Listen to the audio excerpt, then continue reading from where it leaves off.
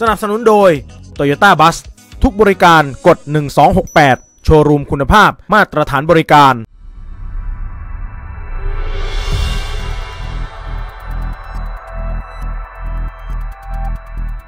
Facebook ของนายอานนท์เชื้อสัตบงกฎทนายความชื่อดังได้มีการโพสต์คำพิพากษาสารดีกา ถึงกรณีพระราชบัญญัติจราจรทางบก ระบุว่าการไม่ยอมเป่าเมาจะถือว่ามีความผิดฐานขัดคำสั่ง ตามพรบจราจรทางบก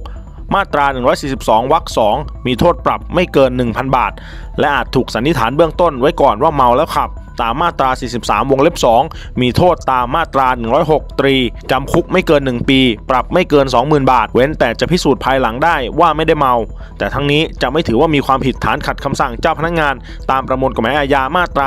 368 ซ้ำอีกครับดีกาใหม่ โดยคำพิพากษาสารดีกาที่ 411ทับ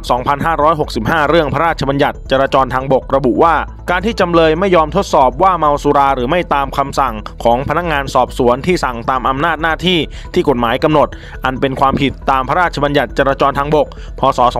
2522 ซึ่งบัญญัติไว้เป็นพิเศษในมาตรา 142 วรรค 2 ความว่าในกรณีเจ้าพนักงานจราจร พนักงานสอบสวน หรือพนักงานเจ้าหน้าที่เห็นว่าผู้ขับขี่ฝ่าฝืนมาตรา 43 วงเล็บ 1 หรือวงเล็บ 2 ให้เจ้าพนักงานจราจร พนักงานสอบสวน หรือพนักงานเจ้าหน้าที่ สั่งให้มีการทดสอบผู้ขับขี่ดังกล่าว ว่าหย่อนความสามารถในอันจะขับ หรือเมาสุรา หรือของเมาอย่างอื่นหรือไม่ ซึ่งหากฝ่าฝืนบทบัญญัตินี้จะมีส่วนที่ว่าด้วยบทกำหนดโทษในมาตรา 145 วงเล็บ 3 โดยระหว่างโทษปรับครั้งละไม่เกิน 1,000 บาท จึงเห็นได้ว่าการไม่ปฏิบัติตามคำสั่งเช่นนี้ พระราชบัญญัติจราจรทางบก พศ